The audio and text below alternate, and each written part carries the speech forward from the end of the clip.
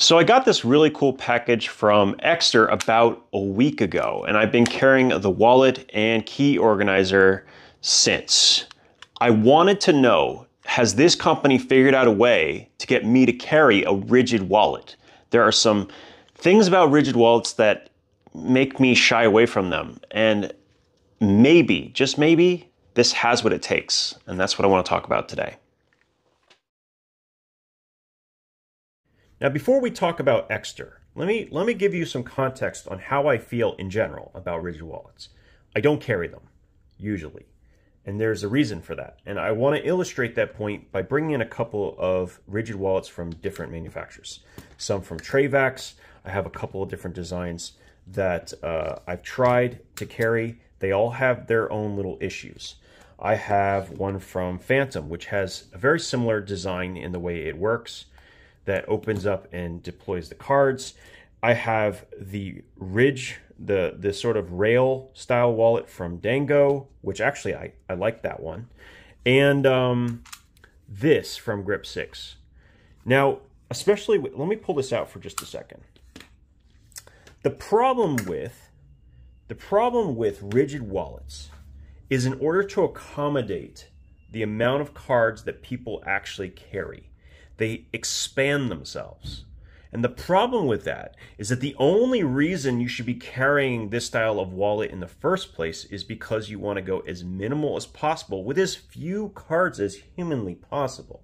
You don't want to be if you if you're carrying 12 cards, there's a good chance that it's not going to be very comfortable to carry a majority of different wallets. I know for a fact that this will carry eight, no problem, right? I know this will carry seven or so. But as you expand them, like for instance, if you take the Grip 6 wallet, which isn't too bad in dimension, and you start adding sleeves to carry more cards, they become bulky very quickly. In fact, their benefits of being narrow quickly diminish and they just become a rigid, another rigid piece in your pocket. And that's an important context when we talk about the Ekster wallet because, and I'm going to bring in some, this is probably one of the thinnest, this, this Grip 6 one. I want to show you just how thin the base setup is for this, uh, this wallet. This is very narrow. It's narrower than the uh, Dango. Actually, let me take the band off so you can see. It's narrower than that, for sure. It is definitely narrower than the Grip 6, although I think you can get a thinner variant of the Grip 6.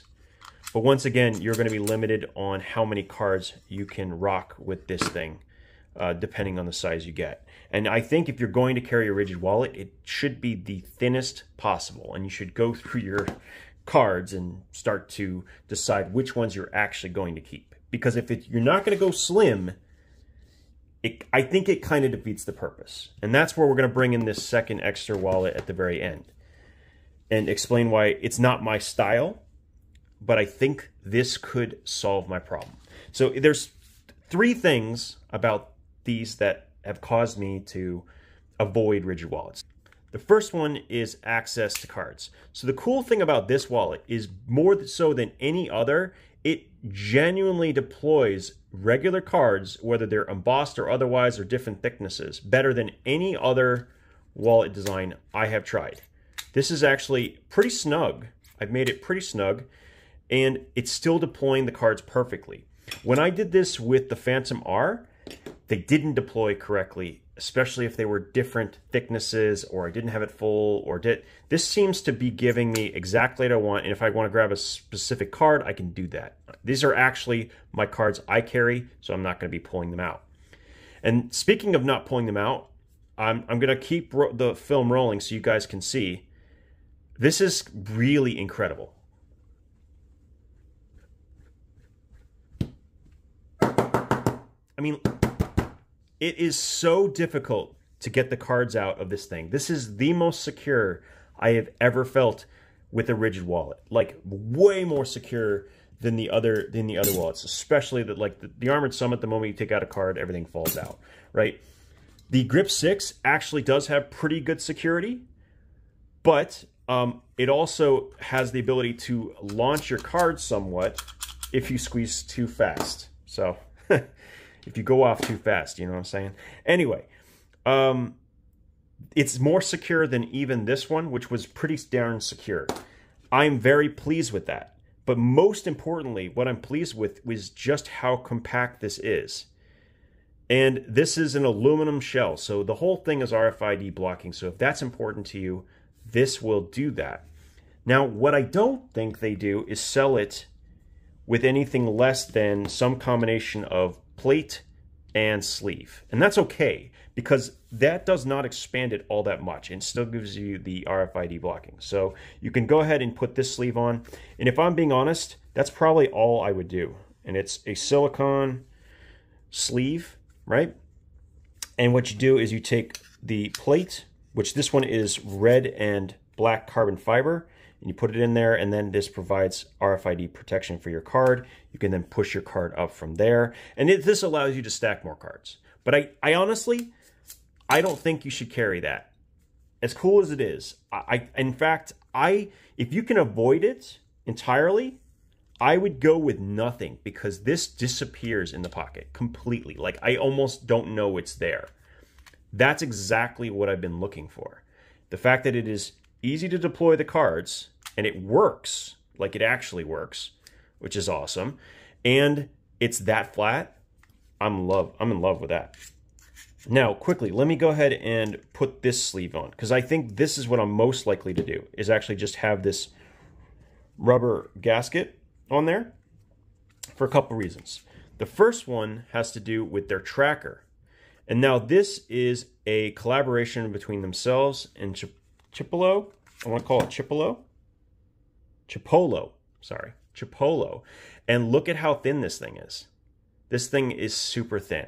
And what I like about Chipolo over all of the other trekking systems that are for Android is that these actually connect with the Find My Phone from Apple.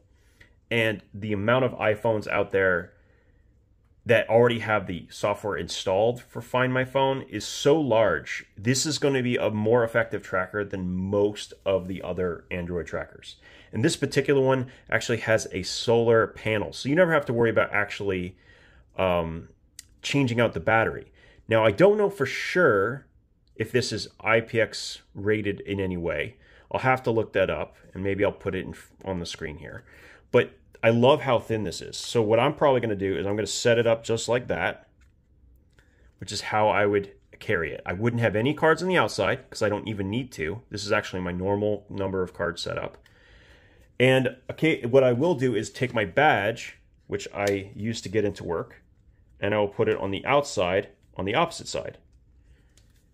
And that is a very nice and trim setup. I like that. Ooh, wrong side. I like that a lot. This I could see myself carrying. When I did this with other designs, and these are great quality-wise, they work, but they become thick, right?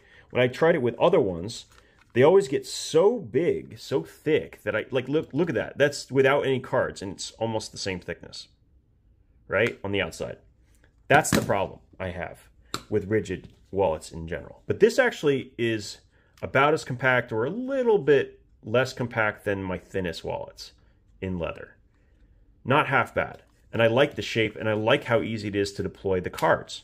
I like that a lot, in fact. Now, the tracker system, that they, this has already been tried by a lot of different people. I want to get to um, the key organizer, but first, before we get there, just something really cool I want to show you. Just so, I just happen to have this in my collection. I thought, you know what, this is like the perfect thing.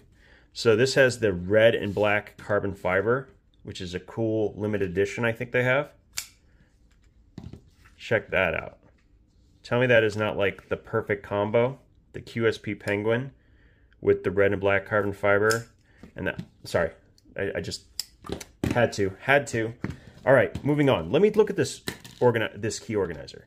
I use, for my keys, I'm always using my key bar. Okay, that, that's my general go-to. And normally, on a key organizer, I want the best security between my keys Oh, here it is. I want it between my keys and my car fob, right? I want it to have the best possible security. So magnets make me pretty nervous about doing that. So I like the locking S-Biners. They're cheap and they're very strong. And I've not lost any keys as long as I actually lock the spring gate, which I've done here. So I haven't had any issues. This design has uh, their new slip joint system, but they have done something with the magnets here that is quite genius. Instead of having two magnets, which is what you'd normally see, there's a single one, but it's a collar that actually slips on top of this dial. And by having it seat itself like that, if I pull it any angle, like except straight back, I mean, I literally have to pull straight this way in order to pull this thing off. It won't go anywhere because of the the way they have done this. I feel way more secure about having my keys like attached with this than I have with other magnetic systems. So really, really well done. Speaking of key systems, this is a shackle that adjusts depending on how many keys you have. I just set it up the way they recommended it, and you can see there's spring washers on each side, and uh, it was pretty easy, honestly, to to do this. So I really do like that. You just tighten that whole thing down, and this is actually the screw, and you can do it by hand. You can undo it quite quickly and easily, and put another key on. I haven't had any issues. Just watch out for the small components that you don't lose them. Now, last thing I want to talk about now, I've only had this for, you know, about a week, okay? So I haven't had a huge amount of experience. But more so than even the, where is it? This credit card size tracker, which is already amazing. This tracker is fantastic. Not only can you find your phone with it, which is cool, you can find it itself, it rings. And th this little addition they have in the front it, it seems like a small thing, but I love this. So you hold it for like three or four seconds and you get this really low, maybe one lumen uh, light, which may not seem like a lot, but in the pitch black, if you have your keys and you need to insert it into a key slot, right, it'll help you do that with basically one hand. So I actually really like this key tracker. In fact, I like the shape and regardless of whether I use this particular key tracker or not, I mean, sorry, uh, key organizer, I will more than likely be putting this into my key bar or any key organizer that I actually have because I think this thing is fan freaking tastic. I love it. And it's just the right size for just every key organizer I've ever seen. It's short enough that it kind of passes in between the pivots yeah, so I love, love that. And just turn it, hold press again to turn it off. And there you go. Good to go. So really, really neat. As far as rigid wallets are concerned, um, the Dango wallet at 30 was, up until this point, was my favorite. It's still a great contender, but when it comes to thickness, the Ekster wallet has it in spades. It really can accommodate uh, all my cards easily. It's easy to deploy, as easy as that one, just a little different.